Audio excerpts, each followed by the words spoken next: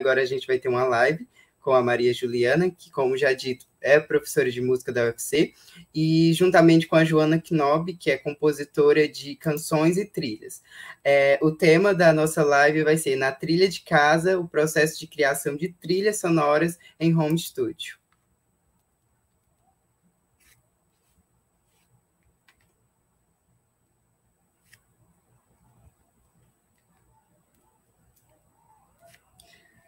Ah, estava com o microfone desligado, que coisa. Saudações. Boa noite, queridas. Boa noite. Boa noite. Boa noite, Joana. Boa noite, Ricardo. Boa noite, Saulo, que está nos bastidores, né, nos trazendo é, essa oportunidade né, de também estar no YouTube do Mal, que a gente está agora nesse momento pelo Instagram do Encanto e também aqui no YouTube do Mal. E o Museu de Arte da UFC tem sido esse espaço que durante anos acolhe todas as formas de arte. Para nós é uma alegria poder acessá-lo. E a nossa querida convidada, Joana Knobe, é, que vai falar para a gente sobre trilha sonora. Ela que é compositora, cantautora, esteve presente em muitas movimentações de mulheridades na música, através do projeto Sonora, do qual ela foi curadora, Bom Tempo, que tem uma obra que você pode escutar no Spotify, é, nas plataformas digitais. É uma compositora muito especial, muito inspirada. E hoje ela vai falar para gente desse lado da compositora de trilha sonora, né? E como tem sido fazer isso é, de casa, né? A partir desse ambiente tão íntimo. E, na verdade, é, antes mesmo da pandemia, eu acho que Joana já tinha essa pegada de fazer as trilhas, é, muito do trabalho delas é, na própria casa, né? E eu acho que muita gente tem acordado para isso, né? Para essa possibilidade da, de trazer a, a música para o seu dia a dia e com as coisas do dia a dia, com o que a gente tem de componente eletrônico, usar criatividade em música. É, acho que muita gente tem despertado depois da pandemia, mas na verdade, alguns fazedores, algumas fazedoras de música já estão nessa labuta de fazer com o que tem há algum tempo. E Joana vai falar um pouco, né, sobre isso e outras coisas para vocês. Obrigada, Jo. Saúde, saúde aí o nosso público. E se quiser já falar um pouquinho da tua história e como, como foi que você chegou até a trilha sonora, né? Como foi que ela te achou? É, que bom estar aqui. Eu agradeço demais o convite, a equipe, e parabenizo também o pessoal que estava apresentando, mesmo que online e assincrônico, né, no, no sarau. Muito bonito o trabalho, é uma construção bonita de ver, assim. É, canto popular no Brasil ainda está engatinhando assim, né, em termos de espaço na, nas universidades. Então, que maravilha que existe essa iniciativa de vocês, que, que cresça cada vez mais. Então, é, eu comecei como cantora, né, minha carreira artística, musical. Eu sempre tive duas facetas, assim, desde criança, cantora e dançarina. E eu nunca conciliava as duas coisas, nunca conseguia fazer encontrar essas duas coisas. No palco, cantando, eu ficava muito sem saber o que fazer com o meu corpo, com as minhas mãos, com minha face.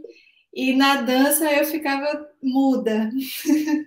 Se me pedissem para usar a voz no espetáculo de dança, eu travava. Então eu fui buscar no teatro uma maneira de juntar as coisas, né? E aí acabei encontrando no teatro uma grande caixa de ferramentas, assim, o teatro é muita coisa junta numa coisa só. Ele pode ser filosofia, pode ser é, desenvolvimento pessoal, psicoterapia, e ao mesmo tempo tem a questão da dramaturgia, da história. Nossa, é tanta coisa assim. E as linguagens todas integradas e se conectando e uma permeando a outra, uma influenciando a outra, né? A luz, o figurino, cenografia, o design, tudo mais. E a música, né? E tudo isso condensado ali no, nos corpos dos atores. Então, isso foi meu, minha primeira entrada nesse, nesse universo foi nessa busca artística pessoal. E aí é, fui convidada a fazer a preparação vocal de atores, né? E nesse convite acabei entrando para a cena e os exercícios que, hoje, que a gente propunha nos laboratórios de preparação vocal. Tem alguns que viraram cena também, e aí foi tudo se embolando. Então, nesse primeiro espetáculo, não existia uma trilha gravada, era tudo performado ao vivo, mas é, teve essa, esse pensamento né, conjunto da sonoridade do espetáculo como um todo, assim, do, de como os atores produziam sons e, e como que isso reverberava na cena e como que os próprios elementos da cenografia também eram elementos de sons e ruídos e silêncios. E então esse foi meu primeiro meu primeiro pensar assim, né, sobre a sonoridade do de uma cena, que é bem diferente de quando a gente compõe é, como como artista de canção, né, como compositor de canção, que era o que eu vinha fazendo até então, é, é um é um serviço diferente que você presta. Quando você está compondo uma canção, você compõe o que vem do seu ser, da sua pesquisa pessoal, da sua necessidade de expressão e comunicação. E quando você compõe para uma obra que envolve outros elementos, outros profissionais e, e outros objetivos, a música está a serviço de outras questões, né? Não só da sua vontade. E aí isso me fascinou muito, assim. Então, acho que seria esse o começo. Ju, você quer perguntar mais alguma coisa? Fiquei sozinha, ai, não gostei de ficar sozinha na tela. Eu meu cabelo aqui que eu tô morrendo de calor. Mas, né? Verão no Nordeste. Então, Joana, aí a, através do teatro chegou a trilha sonora, né? E nessa perspectiva também de de se relacionar com esse novo enfoque, né? Não é a emoção da Joana, é o que ela precisa informar para aquele, para aquela cena, para aquele momento artístico. Isso é muito legal. É, e aí, quando você começou a fazer trilha sonora para teatro, começaram a aparecer outras coisas, como interação com cinema, é, ou alguma coisa da tua vida de compositora de canção foi impactada e começou a ficar diferente, discos, novas obras. Depois desse momento de, de envolvimento com o teatro, né, para onde que, que a trilha sonora te levou, né? Por que caminhos?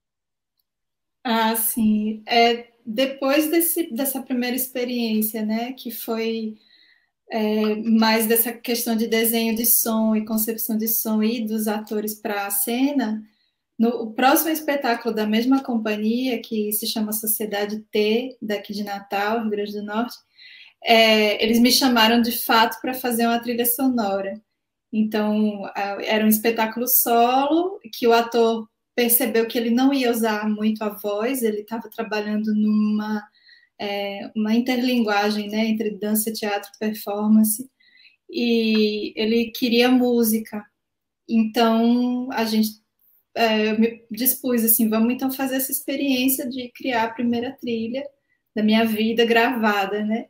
E aí, como ele queria que fosse um espetáculo muito compacto em termos de equipe, para que ele pudesse circular com facilidade, a gente optou por fazer a trilha sonora gravada, para que ele pudesse ter só um técnico acionando o som. Mas a, a, a vinda dessa experiência de já ter trabalhado os sons, os sons produzidos ao vivo em cena trouxeram esse lugar de processo de criação integrado ao processo de criação da obra.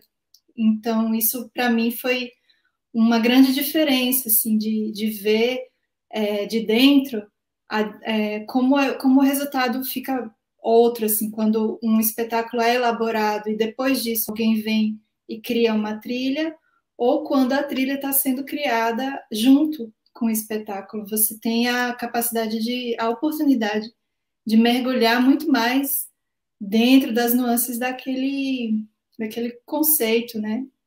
E isso tudo é alimento subjetivo para a criação musical. Então, essa é outra questão interessante da trilha, né, da música, que você se inspira em lugares diversos, em, em textos, em imagens, em cores, e o diálogo, muitas vezes, com o pessoal que trabalha é, nessas outras linguagens, ele precisa ser mais. É, você precisa se abrir mais, né, para realmente entender o que, que se espera da música. Então, eu cheguei a ver, assim, ter, ter situações do, do diretor me falar, eu queria um som mais vermelho para essa cena. E aí você tem que ir lá no seu, na sua experiência pessoal tentar entender que sons são esses que são vermelhos, né? Dentro de todo aquele contexto que já está sendo construído ali. Então, exige da gente uma, uma disponibilidade, né, de acessar esses outros esses, esses outros recursos de criação, assim, de associação. Ah, legal, Joana. Legal, você contando e eu ficando aqui, né? Imaginando. É, é interessante que a gente, por exemplo, nós temos. Você veio da música e da dança, né? É, eu tive alguma experiência com dança, mas é, meu forte realmente é a música. Mas na música, não sei se você tem essa mesma impressão, às vezes, se o artista não for muito cuidadoso em querer, né, em desejar é, estar em contato com outras vertentes, outras linguagens, ele acaba se fechando muito no mundinho da música, né, no mundo dos músicos. E, é, e a gente vê como essa expansão de criatividade, é, esse despertar para coisas inusitadas, né? Esses momentos de inspiração, que na verdade muitas vezes também podem ser frutos de, de muito trabalho, né? De muita repetição.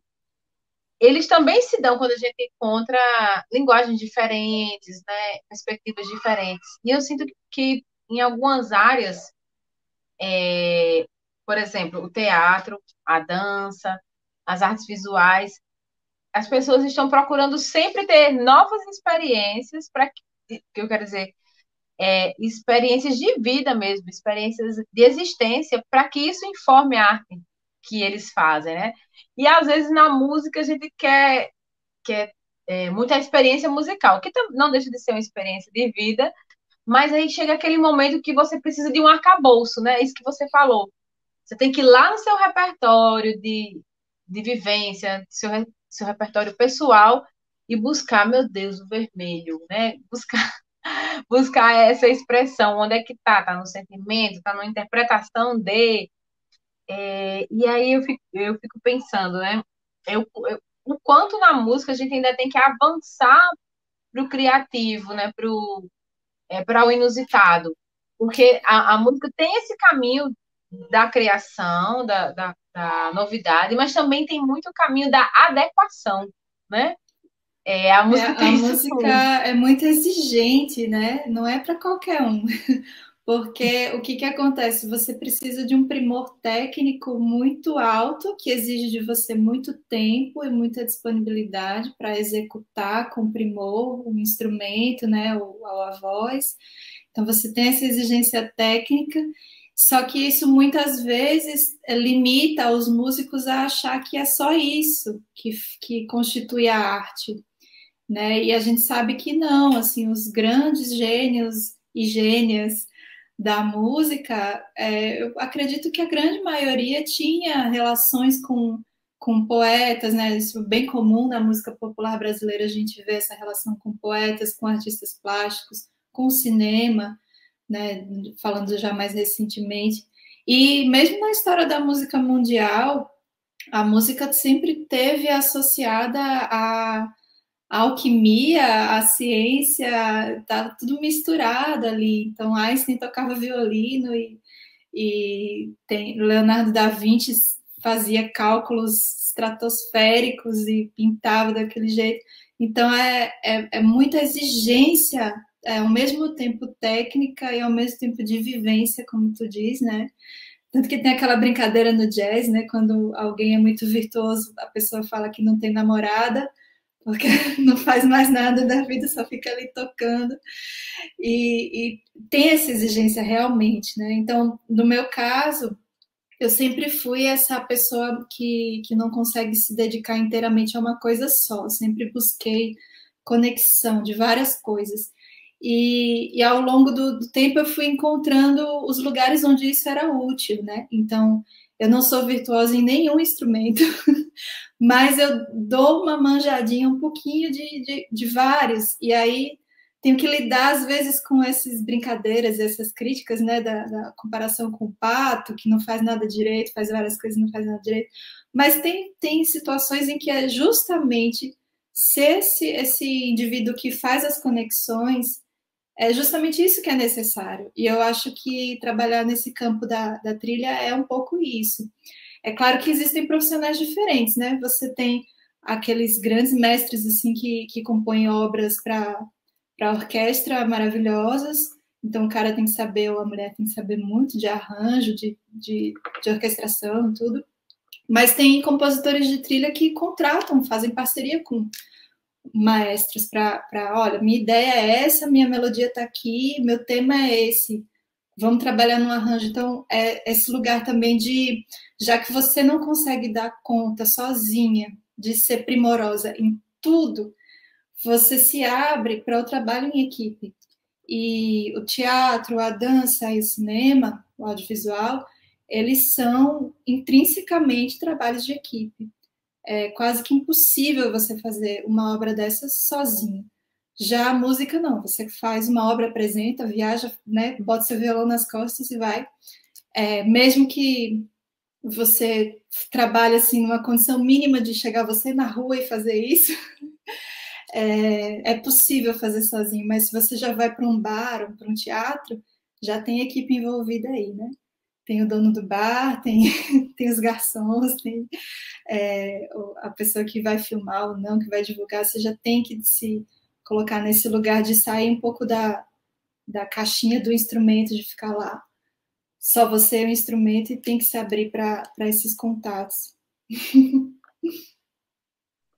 Ai, maravilhosa a sua fala. Joana, é, também, pessoal, esqueci de dizer, desculpa, que vocês podem perguntar coisas para Joana aqui no site do no site, no chat do YouTube, que está aberto, né? O chat é ao vivo aqui no, no canal do Malk.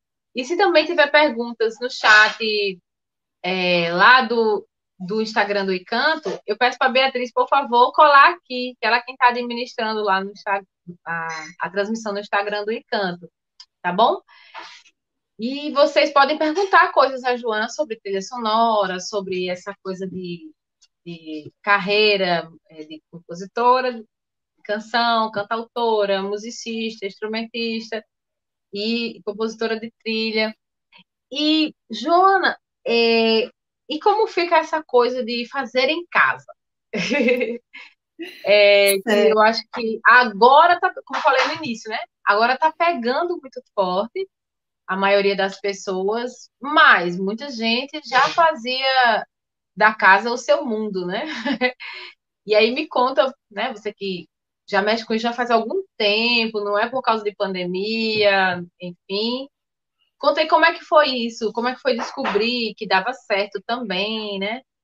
Fala aí para é, nós. O fazer em casa, na minha experiência pessoal, ele veio principalmente de um baixo orçamento.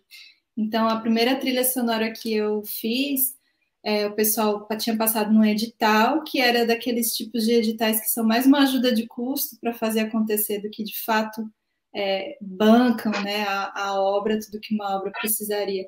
Então, eles me falaram assim: olha, o orçamento que eu tenho é isso aqui, o que é que você consegue fazer com isso?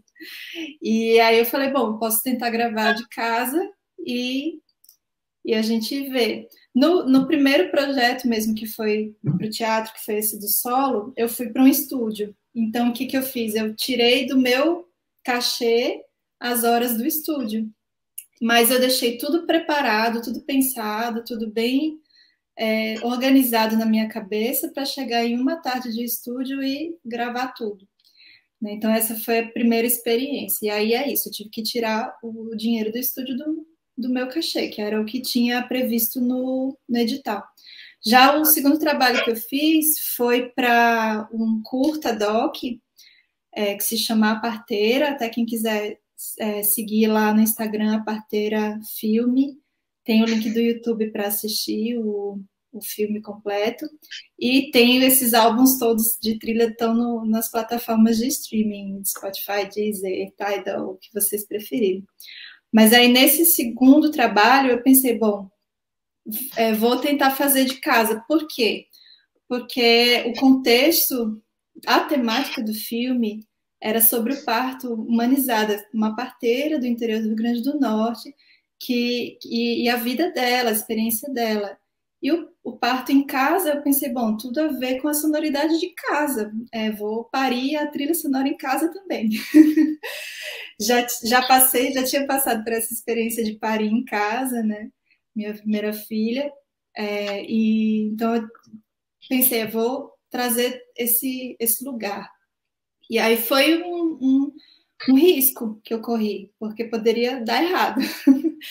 Mas a, a, concepção sonora também, que eu fui conversando com a diretora e a gente foi é, acordando, era também uma concepção orgânica de utilizar mais a voz, de utilizar mais uma percussão. É, eu usei som de água no balde, é, então não, não exigia tecnicamente um grande primor. Assim, qual que é a principal dificuldade né, nesse caso?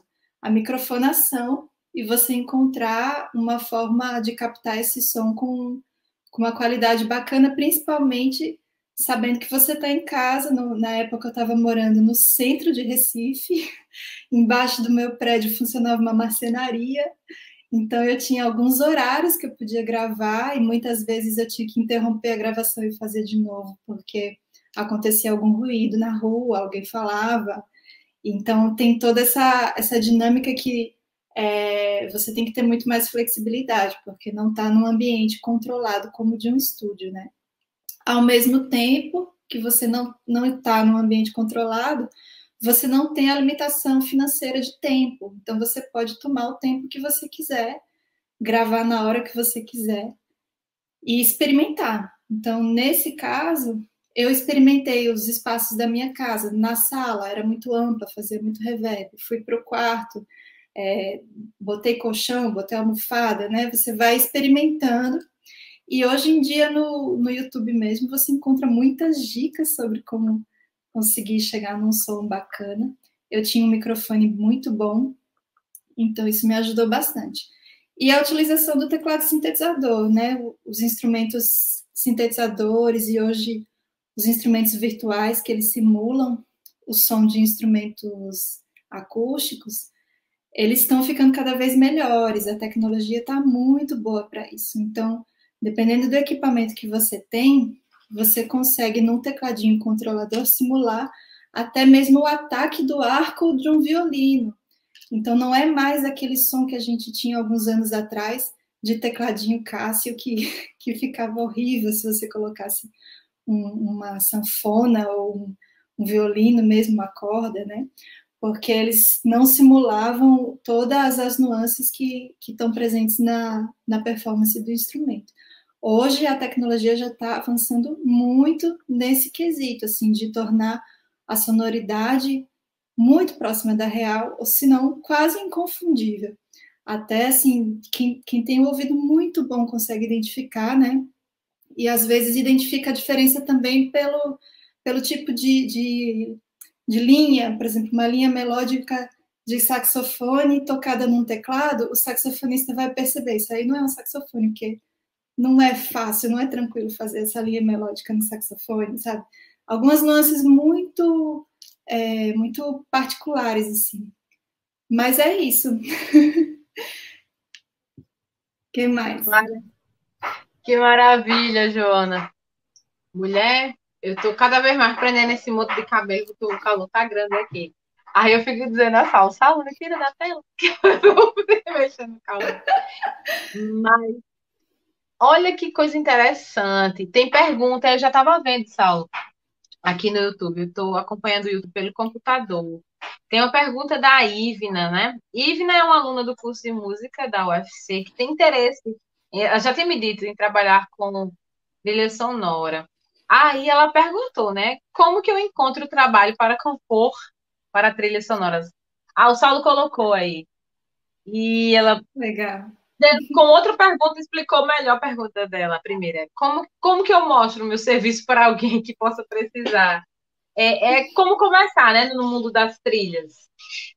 É, isso aí é interessante, né? Porque vai dessa questão que a gente estava falando de você ter as vivências, né? E não só as vivências de apreciar as obras, mas é principalmente isso. Na sua cidade você tem que estar ligada em quem são os diretores, né? E quem, se você está começando, quem está começando também. Então, no meu caso, quando eu conheci o grupo A Sociedade T, a maioria estava saindo da universidade. Foi um grupo que se formou entre colegas da universidade. E então eles estavam abertos a essa experimentação. Muitas vezes o que eu escuto, assim, que eu tenho assistido muitas palestras sobre o tema, internacionais e nacionais, e o que eu observo sempre surge essa pergunta, né? Como que eu começo a trabalhar com isso? E a resposta que eu sempre escuto é assim, começa a oferecer de graça. Até os caras que estão lá em Hollywood falam isso, sabe? Começa a oferecer de graça porque é a única maneira que você pode fazer com que as pessoas conheçam o seu trabalho. No meu caso, eu dei muita sorte, porque eu já trabalhei sendo, comecei a trabalhar com isso sendo remunerada, mas eu fui muito pouco remunerada em relação ao tempo que eu disponibilizei para isso, porque também, como você está começando e está aprendendo, você vai demorar muito mais do que um profissional experiente. Então, precisa ter esse ajuste aí, né? Então, nesse caso do teatro, no primeiro espetáculo, a gente recebeu pelo edital um cachê tal e trabalhou o ano inteiro, então não era um salário, entendeu? E era ensaio três vezes por semana e todo mundo lá participando.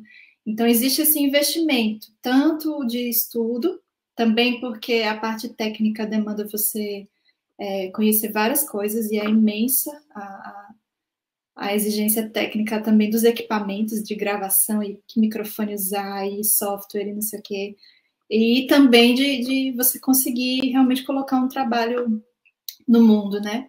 Então, para mim, o que, o que foi mais a, a, confirmação, assim, desse, de que eu podia, é aquela questão, né? Ninguém vai te autorizar a fazer. Ninguém vai dizer assim, você tá apta para fazer. Você tem que fazer e se autorizar, né? Principalmente nós mulheres, já que quem perguntou foi a Ive, não uma mulher nós mulheres, a gente precisa se autorizar, porque se for esperar que alguém diga, ah, você é competente, vai lá e faz, demora. Então é isso, chegar e, e se jogar. É, acho que é isso. E é, acho que é isso mesmo. se surge mais alguma coisa na cabeça, eu falo. Ah, respondeu muito bem a Ivna. E já tocou num assunto que eu queria que entrasse na nossa pauta, que é essa tua relação, Joana. Eu sei que não é o tema de hoje, mas se você quiser fazer uma interface, né, para a gente ver se impacta ou não o teu fazer, a tua vivência de compositora de trilha sonora, esse teu processo como mulher na música e o quanto que você se dedicou a, a, a essa aglutinação de mulheres em torno da composição, em torno da, da, do fazer música e andando por esse Brasil. Eu conheci a Joana assim. Ela articulando, produzindo o Sonora, que é o ciclo de compositoras, né? levando de cidade em cidade. É, isso no, no, costurando contatos, costurando conexões de uma maneira muito artesanal, ligando para cada um, falando com cada pessoa, aí voltando para a Ivna, assim, né, nada cai do céu, ela ia atrás de cada criatura, e aí de repente chegava na cidade sem conhecer ninguém e ia descobrindo onde é que estavam as pessoas, no caso, era a época do Sonora, era a época das mulheres, né, é, no, as mulheres, e aí eu pergunto, Joana, tem alguma coisa específica de mulher na trilha sonora, tem muitas, tem poucas, dificuldades para esse público em específico. E se essa tua vivência é, nessa articulação forte aí é, durante algum tempo da tua vida, né, que foi importante, é, em relação às mulheres compositoras, às mulheres criadoras, às mulheres musicistas, se isso também entra para o teu repertório, né, de é, é, tá lá na gavetinha para na hora de compor alguma coisa, é, você vai lá buscar. É, eu lembrei agora de uma compositora que eu conheci lá em Recife, que é uma compositora de rap. E ela falou assim: Ah, eu sou dessas que aonde a mulher não, não tá, eu, eu chuto a porta e entro. então, eu acho que é um pouco isso. E também tem a questão de quanto mais técnico e mais exigente o, a área, mais raro vai ser você encontrar mulheres. E tu, tudo isso tem um contexto social muito forte, né? Quem é mãe sabe. Como é que você vai ser mãe que não recebe uma pensão justa, ou às vezes nem recebe pensão, né? Ou, ou se é casada, o companheiro é, te faz acumular muito mais funções, você ainda trabalha e tudo mais. Como é que você vai se dedicar, né, a se aprimorar na sua atividade profissional? Então, isso é uma questão que eu vivenciei desde cedo, assim, é, em relacionamentos com, com músicos, que o cara ficava lá em casa o dia inteiro estudando a guitarrinha dele e eu e saía para trabalhar, dando aula de canto, chegava em casa e ainda ouvia reclamação de que não tinha ninguém para lavar a louça, né? Então, assim, e, e, a minha hora de estudo, né? E as minhas seis horas de estudo, aonde estão? Depois de ter filhos, aí mesmo é que lascou. Só que ao mesmo tempo, a gente, ao ter filho, no meu caso foi isso, né? Ao ter minha filha, eu percebi que, que é isso mesmo e que a gente tem que, tem que ter garra, né? Tem que ter muita garra. E a criatividade que os hormônios trazem, assim, essa pulsão de, de vida, de saber que a sua vida não é mais essa, essa coisa egocêntrica, de, de, de trabalho para mim, para satisfazer os meus desejos, é agora uma coisa mesmo de, de garantir aquela vida e uma boa vida, né, para as crianças. Então, isso me fez é, ter, ter essa cara de pau de ir atrás, de fazer as coisas e, e, não ter medo, né, das portas na cara. Então, isso que você falou, né, do, do Sonora, surgiu em 2016 e é, é interessante porque esses movimentos das mulheres a gente é, vê surgindo em massa, assim. Chega uma hora que todo mundo está sentindo as mesmas coisas, e aí quando uma fala, todo mundo concorda, e aí a gente se junta, a gente conversa, a gente discute, a gente chora, a gente busca né, as soluções juntas. E o Sonora fez parte desse movimento que, que eu acho que foi social, assim, das mulheres começarem a perceber que era possível apreciar umas às outras, né? A questão da sororidade. Então, nos primeiros shows do Sonora, a gente via mulheres nas cidades que, que tinham compositoras na, na mesma cidade que não iam no show uma na outra por, pelo simples hábito de competir, né? Que é imposto para a gente. E aí, quando, as, quando a gente conseguiu fazer com que as mulheres estivessem juntas no mesmo lugar, se olhando, e percebendo as afinidades, percebendo as mesmas dificuldades, surgiram milhões de outras coisas. Surgiu é, rodas de mulheres de livros publicados juntas, essa coisa do cinema, esse filme que eu participei, a parteira. Uma da, das prioridades da diretora era que a equipe fosse de mulheres, é, só teve acho que dois homens na equipe toda, todo mundo foi mulher, e se as mulheres não sabiam fazer, é, elas tinham paciência de esperar a mulher aprender a fazer no processo, sabe? Então, isso foi um grande boom, assim, que gerou muita coisa. E aí, na, na, foi bem legal que eu conheci a Maria Juliana, porque eu estava viajando muito para João Pessoa, fazendo shows por lá, e falei, nossa, tem muita gente boa aqui, tem que rolar isso aqui, quem é que faz? Aí não tinha ninguém para fazer, eu, então tá, vou fazer esse negócio. e aí a gente fez o, o foram várias noites na, no primeiro ano, se não me engano, e era isso, eu ali na, na mesa de som, com o conhecimento pouco que eu tinha, apanhando da mesa de som, o companheiro da Maria Juliana foi lá e salvou, mas uma presença masculina maravilhosa, né, porque estava lá junto para somar, e foi muito legal, assim, ver é, as mulheres da cidade se olhando, se reconhecendo e dizendo, nossa, não sabia que você era boa assim. e acho que isso é muito fortalecedor. Agora, como eu falei no começo, né? É, quanto mais técnica for a profissão, parece que mais raro é encontrar mulheres. Então, quando você vai para a música, você vê principalmente cantoras, né? As divas lá que só cantam e só interpretam. Que nada contra, maravilhoso e é todo um, um, uma construção também para você chegar nisso com primor. Mas aí depois tem as compositoras que começaram a ter uma certa visibilidade agora, mas ainda tinha há pouco tempo atrás, né, pouquíssimo tempo atrás, essa comparação, ah, é uma Chico Buarque de saia, ah, é tão boa quanto um, sabe, assim, pô, a mulher é, né? Aí tem a parte técnica, tem a parte da, da, da técnica de áudio, técnica de som, hold, que as mulheres já também sofriam muito assédio, né, nessa, nessa área, é, assédio moral, assédio de todos os tipos, também nos bastidores da, da produção. Aí tem as produtoras, que aí você vê muitas produtoras de músicos homens, mas aí o que, que acaba acontecendo? A produtora do músico acaba assumindo aquele papel de mãezona, que vai levar a comidinha, que vai ver se o cara tá bem, que vai ficar cuidando, da, sabe, assim. Então, é todo um... É com aquela coisa do macro e do micro, né?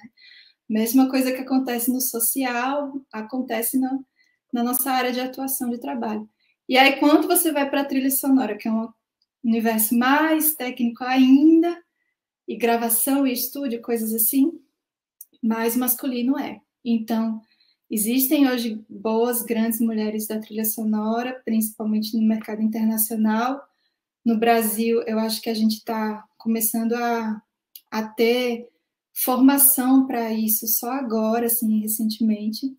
Então é difícil você ter profissionais, né?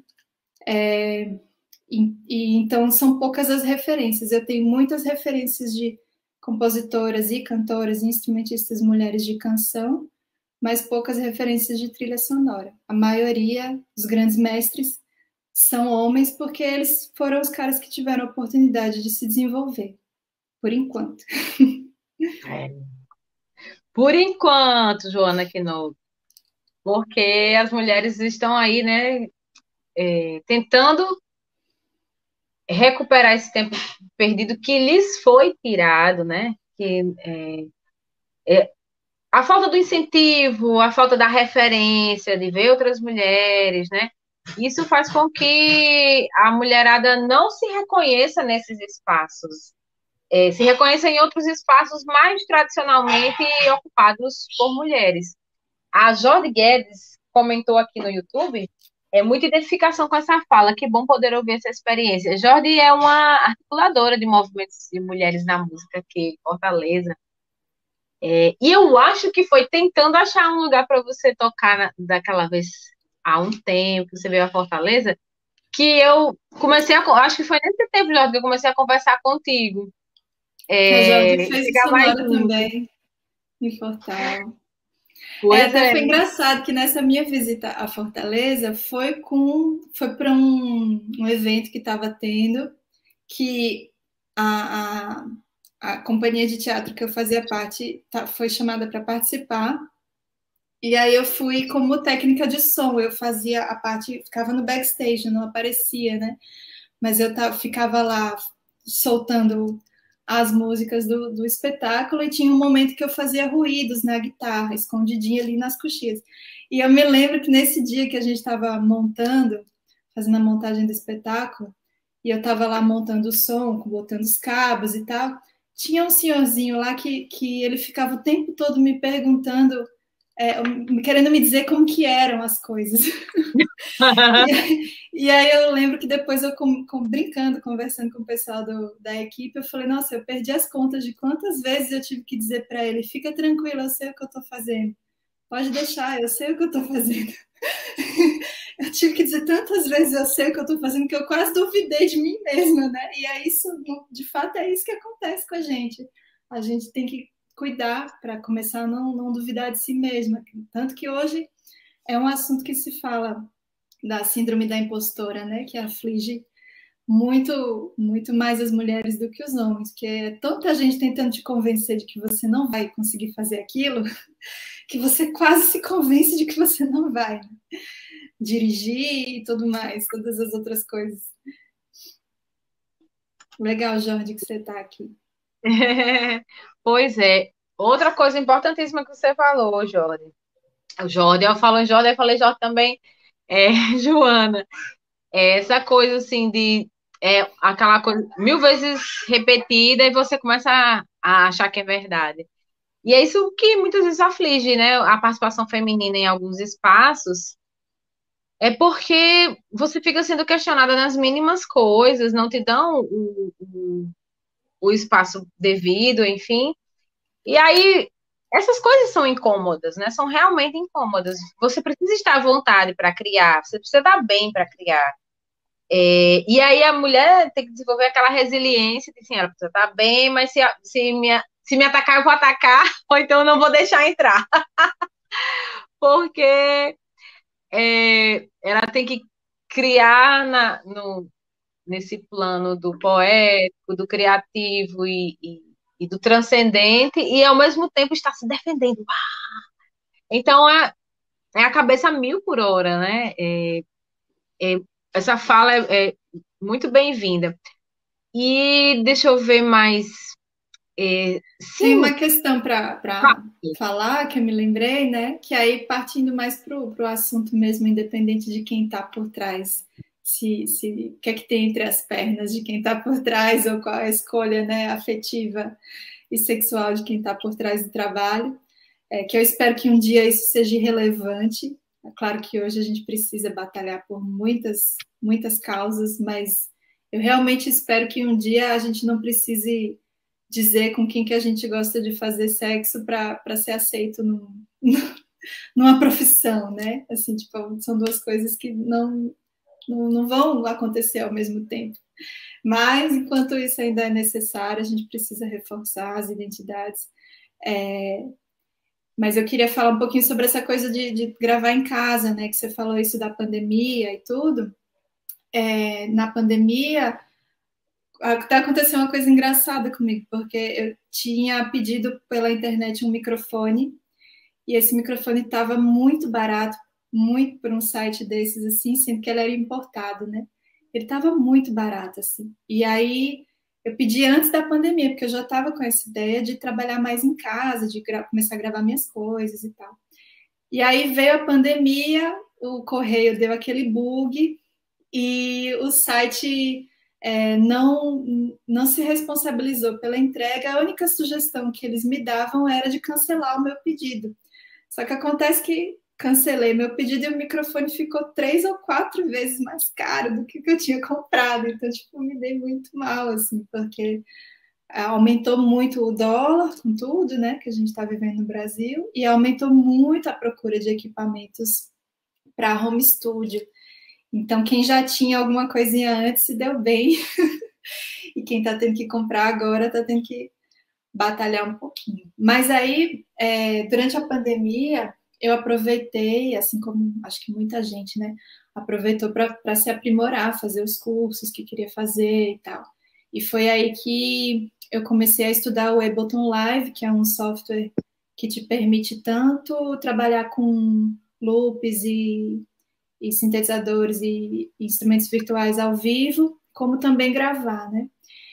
E nesse mesmo momento que eu comecei a estudar esse software, estava rolando um desafio de produtores que começou em João Pessoa também, o pessoal de João Pessoa que articulou e chamou uma galera do Brasil todo para fazer é, o desafio de 30 dias, 30, 30 dias, 30 dias.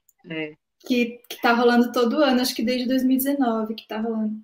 É, e o desafio era em abril, do dia 1 ao dia 30, produzir um, uma música de um minuto, no mínimo, com um vídeo e postar no Instagram. E aí, aí eu me senti também, me autorizei a fazer isso, né? Eu fiz lá aula do software online, produzi minha primeira musiquinha, achei legal, postei, ah, quer, quer saber? Vou tentar. Já comecei meio atrasada, mas corri atrás. E aí eu comecei com um microfone muito bom que eu tinha, que foi esse que eu usei também para a trilha sonora do filme. E no meio do processo, sei lá, em qual beat, esse microfone pifou. E eu fiquei assim, putz, e agora? Como é que eu vou gravar? O microfone pifou e o captador do meu violão pifou também. Aí eu, bom, é isso, né? Vou fazer com o que eu tenho em casa. Então, teve uma faixa que eu gravei, várias faixas, eu gravei violão e flauta com microfone do fone de ouvido do celular. E, e rolou assim, claro, você dá uma camuflada, bota uns efeitos, né? Não vai ficar aquele som maravilhoso. Mas rolou, e uma dessas músicas que eu fiz assim, com um microfone de celular, gravando violão captado no microfone de celular, é, virou a faixa de, de, um, de um game, de um jogo. Então você vê que assim, é, hoje em dia, até no, nos equipamentos que as pessoas utilizam em casa para apreciar música, é possível você, você não precisar entregar uma qualidade primorosa de equipamento. Se você vai trabalhar para cinema, sim, né? Porque o cinema pressupõe que você vai assistir num, num mega som, então a qualidade sonora vai estar muito presente ou ausente ali, muito gritante. Mas no nosso caso, que a gente consome muito som né, no computador, no celular, você também tem essa liberdade um pouquinho maior de, de, de lidar com, com essas limitações técnicas. E, mas também falando isso, né? Ao mesmo tempo, a gente tem essa liberdade, por outro lado, é um risco muito grande de você produzir um trabalho que alguém vai escutar num, num som bom e vai perceber todas as falhas. mas eu acho que a pandemia trouxe muito isso, da, da gente expandir o campo das possibilidades, né? O que a gente ficava se limitando muito, ah, não vou fazer por causa disso, daquilo, daquilo, daquilo em casa para não enlouquecer, a gente acabou fazendo. Então surgiram muitas colaborações. É, esse trabalho que eu fiz, 30 dias, 30 bits, virou um álbum. E nesse álbum tem faixas que têm vozes que foram gravadas no WhatsApp para mim, entendeu? Tem, tem, tem de tudo, assim. Então, é possível. Acho que essa é a mensagem que eu quero passar, assim. É possível, né? Sempre buscando o primor, mas não se deixar é, travar quando você não consegue o, a situação ideal. Gente, como foi bom ouvir isso, Joana. Inspirador. E também, eu acho que o pessoal que está aqui na, na, no chat, né, principalmente as meninas, é, estão eu conheço algumas, né? Eu acho que elas se sentem representadas nessas falas, né? Reflexão muito importante, Laura. É, a Ivna, de novo, fugir do perfeccionismo que trava, meu maior problema. Justamente porque essa, essa síndrome de impostor atinge mais as mulheres, e esse perfeccionismo, que não é aquele, aquele perfeccionismo de querer as coisas legais, bonitas, bem feitas, né? Mas é aquele assim que como sempre tem que estar muito mais perfeito do que, aspas, eu consigo fazer, então eu nunca vou estrear, eu nunca vou parir essa obra de arte, eu nunca vou colocar no mundo. E aí a gente fica se sabotando, né? Então é toda uma construção cultural em torno disso. E, e quando você, tá você tá se liberta desse perfeccionismo, você abre espaço para um lugar que você desconhece, que pode ter grandes tesouros. Então, isso falando, me lembrando da questão da, da performance, até no canto mesmo. Quando eu me, assim, me desobriguei a ser uma diva do jazz, que era o que eu estudei muito tempo para ser, quando eu me desobriguei disso, falei, bom, eu tenho uma filha, não vou estudar canto todo dia, não vai dar. Então, assim, quer saber? Deixa só eu cantar, assim. E aí eu descobri coisas que, que eu não me permitia fazer com a voz, que, que são arriscadas, né? Que pode ter crítica, que pode ficar ruim também, mas que podem trazer outras nuances artísticas, que, que isso é uma coisa que o teatro traz bastante também, das emoções, da, do real, do carne e osso, e que é o que define quem você é, diferente de um padrão então, quanto, quanto mais a gente tenta ser perfeito, o perfeito ele sempre está comparado a algum padrão. Então, se você atingir a perfeição, você vai se anular. Porque vai né, virar reprodução em série. O artesanato é isso, é a falha, né? É aquele risquinho ali na madeira que só aquela madeira tem. Então, acho que a gente achar esses, esses risquinhos que a gente tem, assim, que são nosso charme, né? É, é, importante também se permitir isso. Mas também, assim, dentro dessa questão das mulheres, eu já vi muita mulher subindo em palco sem estar preparada para isso, só com a desculpinha de que sou mulher, né? E aí a gente tem que cuidar para não cair nesse machismo mascarado, né? De, de, ah, eu sou mulher, então eu posso, mesmo não sendo não estando pronta para isso. Então, não, você tem que ter mesmo esse, esse, esse, primor, né? Buscar, buscar, mas não se deixar travar. É, é bem delicado mesmo. É um jogo de equilíbrio, né? De, de energias e, e, e, e, e assim, propostas, visões de mundo. Mas isso que você está falando encontra eco, viu? Aqui no povo do chat, enfim, e muita gente que está assistindo, porém não está comentando. É...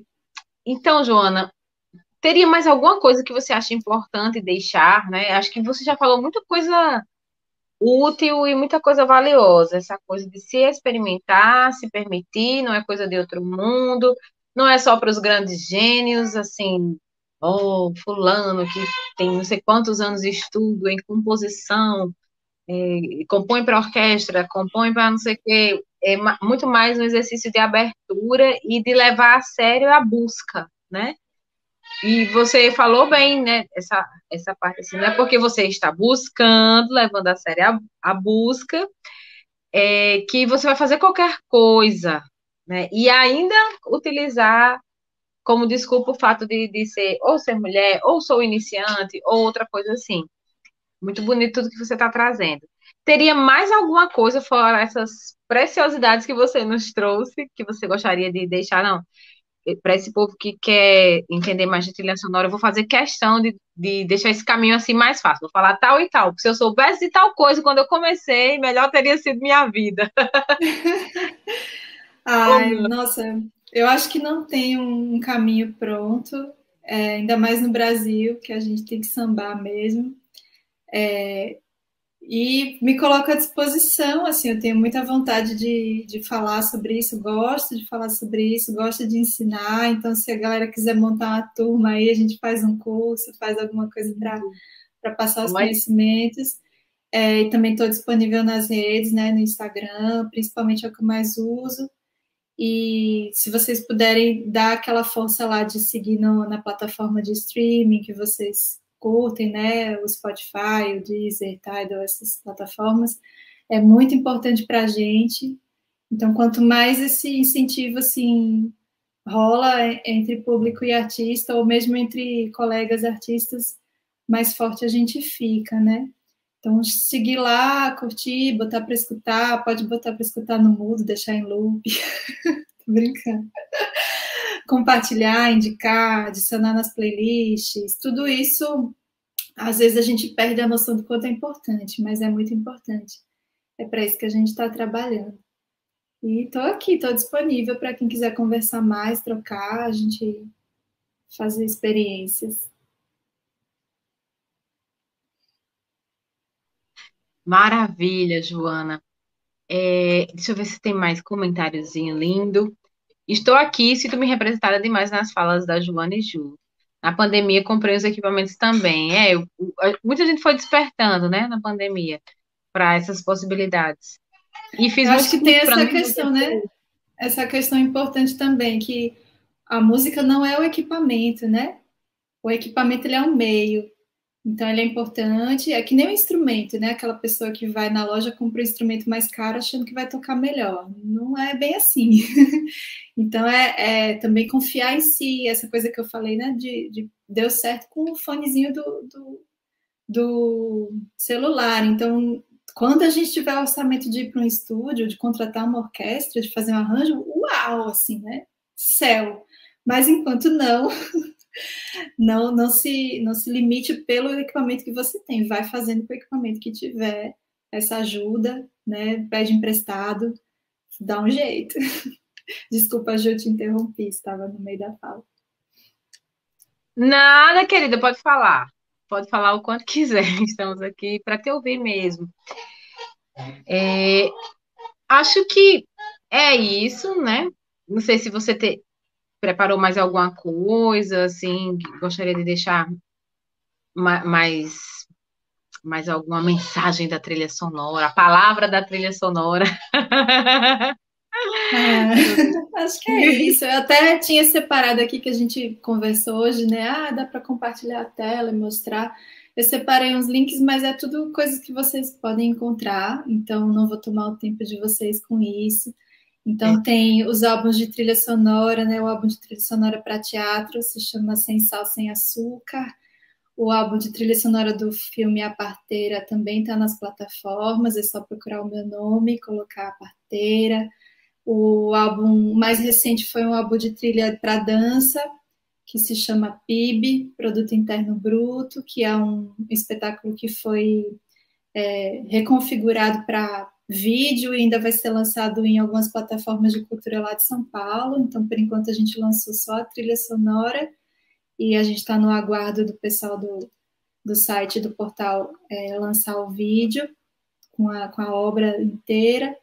Tem esse álbum de 30 dias, 30 beats que está lá, são é uma música para cada dia, então dá para você ir escutando, ver que dia é hoje, hoje é dia 7, bota lá a música Day 7 e ver se tem a ver com o seu mood do dia. E, e é isso. No, no YouTube, ah, isso é uma coisa para quem está interessado assim, em, em trocar mais né, sobre esses processos. Quando eu fiz o, o, os 30 dias, 30 bits, depois que eu fiz, eu lancei o álbum e depois eu fiz uma sequência de making off. Então, cada faixa eu fui fazendo um videozinho contando um pouquinho sobre como foi a criação, mostrando o projeto. E isso tudo está numa playlist do meu YouTube também. É bem amador, bem caseiro, aquele esquema pandemia, quando a gente ainda não não estava se mobilizando para ajustar cenário, fazer as coisas direitinho, ainda estava bem tosqueira mesmo, mas está lá para quem se interessar em acompanhar o processo de criação. E é isso, agradecer, né? Agradecer vocês que ficaram aqui presentes e o convite e que essa iniciativa cresça, como eu falei no começo, que tem muita coisa para se fazer ainda. É, vamos organizar o curso. vamos juntar o pessoal aí, os interessados, Ivna, Beatriz, Laura. É... Ah, teve um comentário que eu acabei não falando, né? Bruander falou: esse lance do aumento do dólar me pegou de jeito. Tive que começar a vender brigadeiro para desenrolar meus equipamentos. Verdade. A alta do, dos ring lights e tudo. ficou caríssimo, né? O suporte de celular, então, meu Deus do céu, ficou super caro. É isso. Olha, pessoal, é, a gente vai ver uma forma de desenrolar esse curso aí, talvez pelo encanto. E e ter a Joana conosco, né, dando aula. Eu vou ver com ela como é que a gente articula, como é que fica essa parte. E ó, o pessoal do Mal que colocou o canal da Joana no YouTube, para quem quiser conhecer mais sobre a obra dela e tudo. Ai, Joana, também te parabenizar publicamente, tá gravidinha de novo, gestando, além de música, trilha, vida, movimento de mulheres, gestando gente, né, vidas. É, que coisa linda, né? Produzindo um beat constante aqui de coração. É. Sempre criando. Mas é isso, né? É, você já falou um pouco. Ah, me permite uma última pergunta? Claro. Você já falou um pouco sobre essa coisa e eu compartilho com você dessa energia. É, você falou muito muito não, né? Você falou em algum momento sobre. Olha a zoada aqui, né? Dos pequenos. É, você crianças. falou sobre. que ser mãe te dava essa energia de querer lutar e de querer realizar as coisas, porque você precisa dar um futuro para o seu filho, para sua filha, no caso para sua filha, né? E igualzinho eu penso, acho que a maioria das mães. Então dá esse é, essa gana, né? Essa, essa vontade de correr atrás. É a energia do corre, né? Tem a ver com hormônio, tem a ver com cultura, tem a ver com, com, com um monte de coisa. É, mas tem há outros tipos de interação da, da maternidade, positivas ou negativas, que impactam na, impactam na Joana criadora, né? A Joana artista, a Joana é, compositora, a Joana militante da cena, é, porque eu acho também é, interessante quando as mulheres falam, falam disso, para é, desmistificar é, é, essa coisa de maternidade e vida de artista. Porque justamente ao homem é você falou uma coisa interessantíssima, né? Ao homem é permitido sair cuidar da vida de artista. E a mulher, mesmo sendo artista, normalmente ela vai dar uma desacelerada ou na maioria das vezes parar com tudo, né? E onde você tem encontrado essas forças para não, vou continuar mesmo no meu passo, mas não vou sair daqui não. Ai, gente, onde encontrar forças eu não sei nem dizer, porque eu já passei por vários momentos que eu olhei assim e falei, velho, não vou aguentar, não. Ou eu vou enlouquecer, ou eu vou ficar doente e morrer, não, não vai dar, tá além. E aí você dá mais um passinho e você vê que deu, né? Consegui dar mais um passinho. E vamos nessa. Aí quando você acha que já viveu os piores desafios da sua vida, aparece um mais cabuloso ainda. Você olha assim, ah, tá bom, já metade disso aí já sei, o resto a gente tira de letra. Então eu nesse momento tenho vivido questões assim, né? Revendo, a minha filha tem quase 10 anos, então eu já tinha, já estava no, novamente na área, né? Independente, podendo viajar, deixar ela com vovó, fazer as coisas e agora me vendo nesse lugar grávida de novo, solteira e com a incompreensão, né? Então tem esse lugar ainda de quando a gente se relaciona com pessoas que não são artistas, ainda tem muito esse lugar de preconceito. Ah, você fica aí brincando, né? Fica aí cantando, enquanto eu tô aqui batalhando, aí você vem me exigir dinheiro, né? Nossa, é muita coisa para falar. Se eu fosse falar aqui, a gente ia ter que lavar uma roupa bem, bem grande, um cesto gigante do tamanho do mundo de roupa suja para lavar nesse aspecto. Mas, assim, o que, que é positivo, né, na minha trajetória? Eu contei com pessoas e, e equipes de muito amor, assim. Então, esse pessoal do teatro, quando a gente começou a trabalhar junto, minha filha ainda mamava. E já, já era grandinha, porque eu amamentei até os três anos de idade dela, mas ela ainda mamava, e os ensaios aconteciam, pegavam o comecinho da noite, a hora que ela já estava com sono, e a equipe foi muito compreensiva, assim, no sentido de acolher alguém, alguém parava de trabalhar para ficar com ela quando eu estava precisando trabalhar, e às vezes em, no meio do laboratório ela estava no sling no meu colo, entrava no palco, participava das coisas e dava às vezes umas opiniões, né? Então, maravilhoso assim, opinião de criança em processo construtivo de uma obra, porque elas são aqui, elas falam aquilo que o público pensa, mas não fala, né? Por que esse negócio é aí? Aí você olha realmente, por que, que esse negócio está aqui? É a criança que sacou. E, ou então um significado além que você nunca pensou. Então, isso é muito rico de ter uma criança junto na equipe participando. E também na, na, escola de música que eu dou aula, em, agora estou online, porque eu estou aqui em Natal, mas a escola de música que eu estava dando aula em Recife, é, eu levava minha filha, ela ficava na recepção e os donos super compreensivos. Então a gente tem esses, essas brechas, né, que a gente vai cavucando, assim, com os desafios, claro, mas também já fui expulsa de, de de tá, tá, tá, na plateia de um espetáculo com minha filha e por causa de um chorinho me pedirem para me retirar.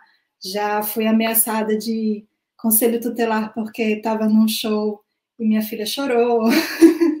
é assim, o que você está fazendo aqui? Você tinha que estar tá em casa, trancada, né?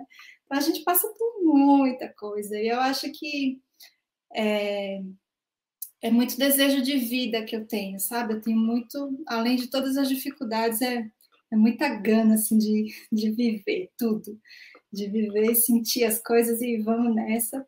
A gente cai, chora, sofre, fica um dia inteiro querendo morrer, depois volta. e acho que a arte é muito disso também, muito dessa entrega.